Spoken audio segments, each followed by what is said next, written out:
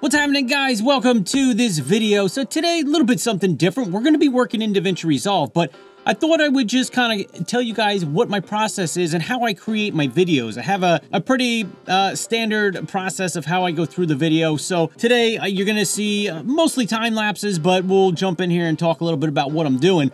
But um, we're going to be putting together a video for this guy right here. This is a BenQ light. It's actually up on my monitor here. Let me show you this real quick. Up there, it's on the it's on the top of my monitor up there. It's for a client. They send it out to me to review and try out. It's awesome, by the way.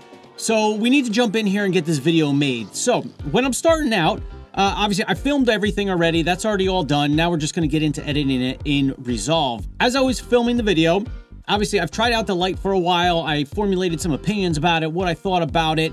I uh, filmed some B-roll clips of the light itself, of the little dial that's uh, over here on, uh, you know, just how it works and what you can do with the light, how it changes color temperatures, all that kind of stuff. So I've got all my footage. I'm gonna set up my project here in Resolve and we're gonna go through and do a few passes on editing the project. So like working in any project, it's good that you keep organized, right? I've got a whole file setup system on how I keep my footage, my media, my audio, screen recordings, all that kind of stuff. I've got it all set up. It's the same for every single project, so I always know where to find everything. So that's already set up. If you're interested in that, comment down below. I'll let you know how I do that and what that setup is. Uh, but for now, let's jump into Resolve and we're gonna create a new project and get going here. All right, first step here, we're gonna go ahead and fire up DaVinci Resolve. So the way I set up Resolve, I have one database that's got all my projects in it, a couple years worth of YouTube videos. And I mean, that seems to work out fine for me. At some point, I'll make a new uh, database here, but I just got one. So I'm gonna go ahead and click on New Project. We're gonna create a new project. I usually name it with the date and then whatever the project is. So 2021, and usually I'll do the release date or what I think is gonna be the release date. Hoping to get this video out this week, but it might not come till next week. So uh, I'll just use next Monday's date and that should work out fine, which is December 20th. And like I already mentioned, ah, this is what we're taking a look at, BenQ Screen Bar Plus. So that's what we're gonna put it under. Ah, I don't know if you heard that little uh, selling uh, some courses there from a DaVinci Resolve course. So if you're interested in that, head over to my Shopify, check that out. Okay, I got my name, go ahead and click create. When I first set up my projects, what I wanna do is make sure that I've got everything set up from the beginning on how I want to work in my project here. So what I do is um, I actually have, if we take a look at the screen here, I actually have a bunch of presets. And I'm to be having these for sale. If they're not out by the time you see this video, they will be out soon. But I've got all different frame rates and um, projects in both 4K and HD. A whole bunch of different presets here that you can just set up your project, one click, you're good to go. So for me, I generally edit my projects in 23.976 frames per second, and I edit it in 1080, and then I'll export it in 4K. But I always edit in 1080. It's easier on my computer. Uh, I film everything on my 5D Mark IV here in 1080 because I just don't need 4K. It's just it's too too much files, too big, it's too much. I don't need that much storage space, right? Then uh, with the 4K, it's crazy. So I have this set as my default. You can say set as user default config. So that's what DaVinci Resolve will use every time I load up Resolve. It's going to use these settings. And for good measure, I'll just hit load on there.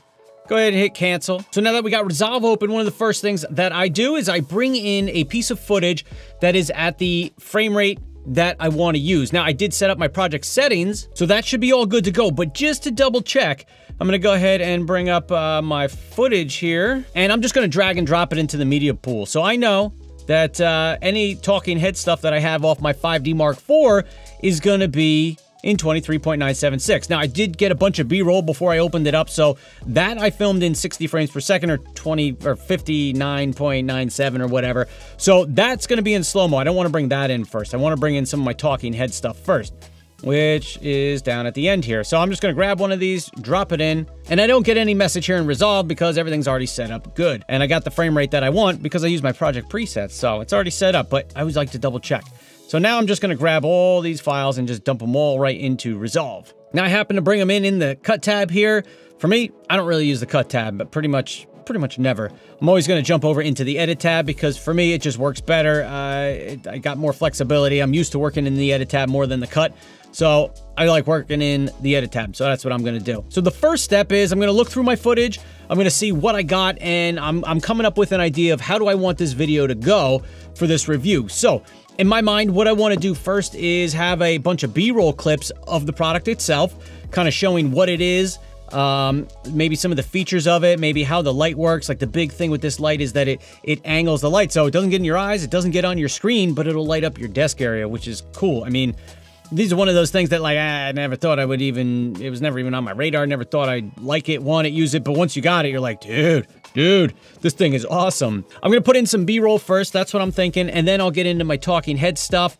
I may need to shuffle things around but my first pass of editing is always just to build out my A-roll stuff right? I mean I know I'm gonna do b-roll in the beginning here but that's like my main angle my main stuff so I want that to kind of come first before I start the talking head stuff so I'm going to go ahead and just kind of lay in my clips and see what I can make happen uh, in my timeline here and just start to build the video out that way. So I'm going to go through, I'm going to put in, you know, my, my A angle, if you will, um, of everything first. And then I'll go back and we'll start finessing and tweaking it. So I'm probably just going to time lapse through all this stuff here, um, just so you can kind of see, you know, the process that I go through. I'm not going to talk you through all of it. You probably don't need to know all of it. You probably don't care. But basically, that's my first step go through, lay down a baseline of everything uh, in the timeline, get a rough edit done, and then we'll go back and fine tune it. So let's jump into getting this guy going here.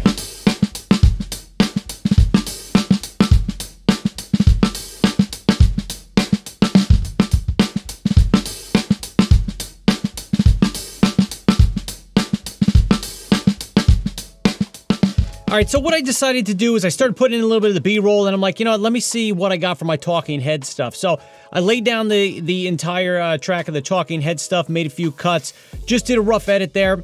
I'm probably gonna go back, or I will go back actually, and I'm gonna do like some punching in, punching out, just trying to change it up a little bit, because if it's just static shot, let's be honest, it looks kind of boring, right?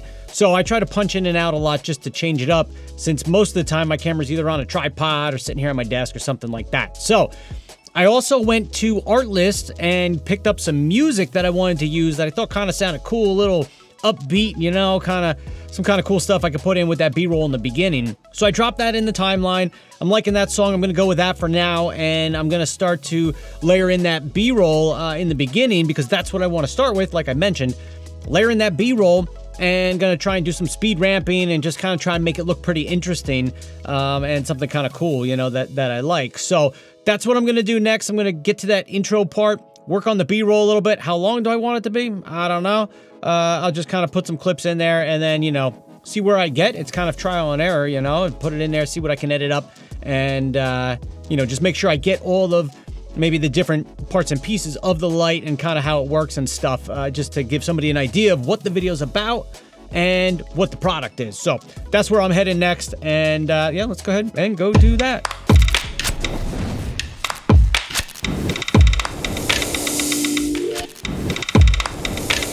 So like always, as a YouTuber here, I've got a million things to do in a day. So I uh, got a little edit done here. I gotta go run out to the store, go get some things. And then uh, I'll be back later uh, tonight or whatever. And I'm gonna get this intro figured out. So you'll catch up with that in a second and uh, we'll see you in a bit. Peace. All right, back from doing some running around. Got me a cup of Joe. We're gonna get back to editing here for about 20 minutes.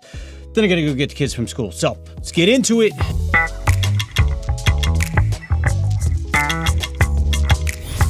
All right, another day back to the edit here. Had to uh, call quits yesterday because had some basketball practice, dentist appointment, things to do. So I did do my first pass yesterday. Went through, got all my talking head stuff squared away, and I'm happy with that. Then I went back and started working on some of that B-roll in the beginning. I'm gonna go back, take another look at that, and I even started including some speed ramping and kind of doing my second pass. So put my clips in there with the first pass that I typically do, and then have been going back and adding in some speed ramping and just trying to match it up to the beat a little bit better. So now I'm gonna go back, watch it again, see how that works out, and then I'm gonna get into the talking head stuff and do a lot of my punching in and punching out, kind of like this. If I punch in like this, and then I punch back out. I think it just makes the video a little more interesting. So that's kind of my round two, is to go back and kind of fine tune stuff a little bit. So let's jump in, speed through that, and uh, we're gonna get that done. So let's do it.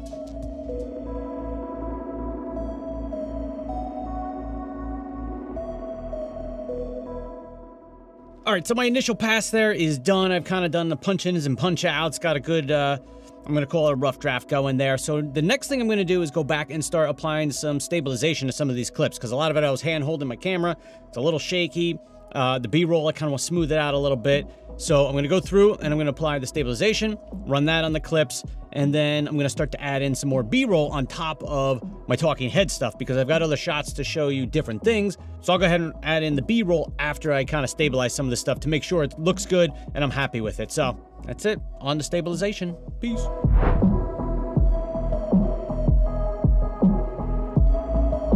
Right, so we got our clip stabilized. I think I'm in pretty good shape here. The next thing I'm gonna do is go through, take another pass through, and now I'm gonna add in my B-roll on top of my uh, talking head stuff so that way I can get close-ups of, you know, the device and the parts that I'm talking about. So that's the next step. Go back through, lay some B-roll on top, try and make it a little more interesting, and that's it. That's where we're going to next. Check it out.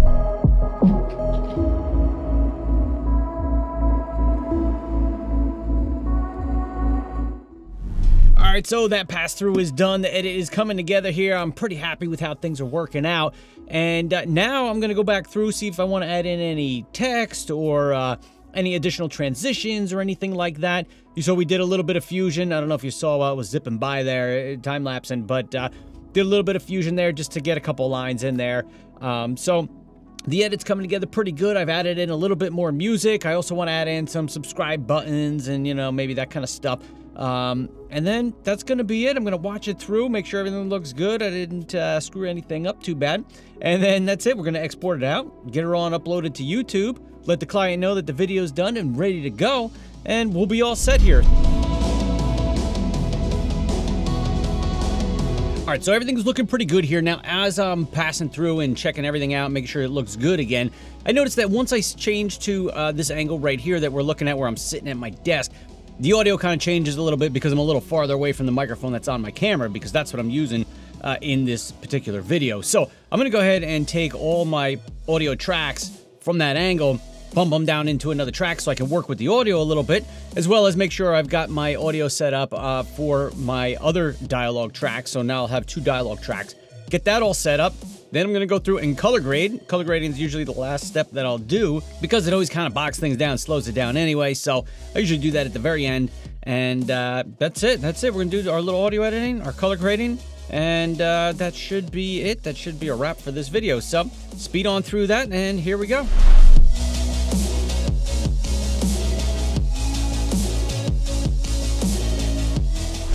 All right, guys, that wraps up the process here of how I would create a video, in this case, a product video for BenQ and their screen bar light that goes on top of your monitor. So I do do a couple passes through. I hope that was helpful for you guys to see kind of how I do it. And the way I look at it is you kind of want to wear one hat at a time, right? I don't want to do everything all at once because the project kind of evolves, right? Every video I make, it's going to be a little bit different. You know, I got to kind of see how the flow is. I've got my idea of, you know, what I want it to be. I filmed it, you know, that way so that it would kind of get the idea across of what I initially thought of. But when I'm editing it, you can make a lot of changes. You can really, you know, make it something unique and add some cool things into it. And it kind of evolves. It always evolves for me anyway. So I hope this was helpful in showing you guys just how I go through and edit it. Um, maybe if you're interested, I can do this again sometime. Let me know. Comment below if you're interested in more details about my process. I know I sped through a lot of the editing and just kind of gave you high level stuff of kind of what I was doing and how I was doing it. So if you guys found this interesting, give it a thumbs up for me. Subscribe to the channel if you haven't already. And I look forward to seeing you guys in the next one. Peace.